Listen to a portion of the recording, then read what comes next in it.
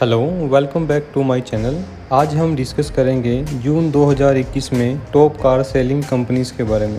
Fifth number पर आती है किया मोटर्स जिसने 15,015 यूनिट सेल की हैं जून 2021 में। किया ने काफ़ी कम समय में काफ़ी अच्छा काम किया है।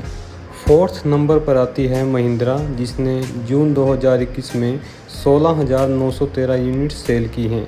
महिंद्रा काफ़ी अच्छी सेलिंग कर रहा है जिसने किया को पिछाड़ दिया है। थर्ड नंबर पर आती है टाटा मोटर्स जिसने जून 2021 में 24,111 यूनिट सेल की है और काफ़ी अच्छी सेलिंग की है।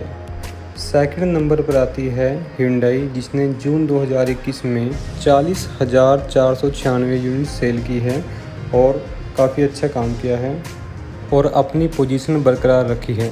और फ़र्स्ट नंबर पर आती है जैसा कि आप सब लोग जानते हो मारुति सुजुकी। जिन्होंने जून 2021 में एक लाख चौबीस हज़ार दो सौ अस्सी यूनिट सेल की हैं।